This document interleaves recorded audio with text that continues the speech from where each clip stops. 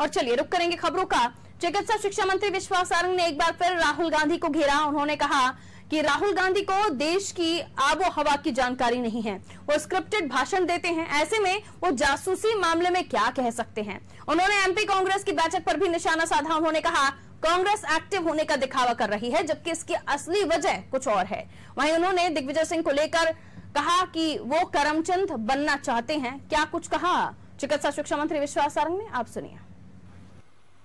फिर राहुल गांधी की बात कर रहे हो आप? बच्चों की पुलिस पर समय क्यों खराब करते हो?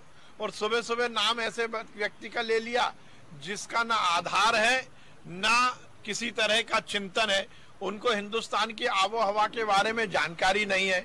आप यदि उनको उठाकर पूछोगे तो वो कांग्रेस के राष्ट्रीय अध्यक्ष का भी ठीक से नाम नहीं बता पाएँगे।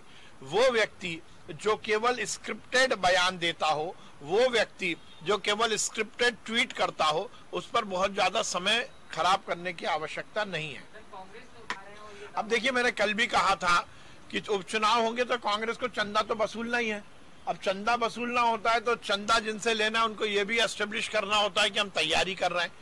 तैयारी का कोई मतलब नहीं है, कांग्रेस बुरी तरह हारेगी। अब दिग्विजय सिंह जी यदि अपने आप को करमचंद प्रस्तुत करना चाहते हैं तो ये उनकी मर्ज़ी है। जासूसी नहीं करें वो, बल्कि राजनीति करें और सेवा करें। यदि चिंता करनी चाहिए तो अपनी, अपने परिवार और अपनी कांग्रेस पार्टी की करनी चाहिए। वो कांग्रेस पार्टी जो अपना प्रदेश अध्यक्ष सही से नहीं बना पा रही, राष्ट्रीय अध्यक्ष अपना सही से नहीं बना पा रही, वो भारतीय जनता पार्टी में ताका झाकी ना करे। दिग्विजय सिंह जी की आदत हो गई है कि वो ताका झाकी कर रहे हैं। और उनकी इन बातों पर बहुत ज़्यादा ध्यान ना दिया जाए तो ही उचित होगा। कांग्रेस की यही तो दिक्कत है।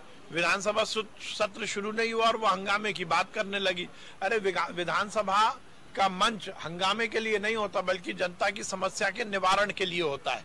दिक्कत यही आ गई कि कांग्रेस विपक्ष की भूमिका नहीं, बल्कि योद्धा की भूमिका में आना चाहती है।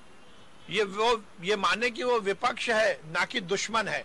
वो अपने आप को दुश्मन प्रदर्शित करके केवल लड़ाई झगड़े और हंगामे की बात करती है और इसीलिए उनके माध्यम से जनता का कोई भी भला नहीं हो पाता विधानसभा में।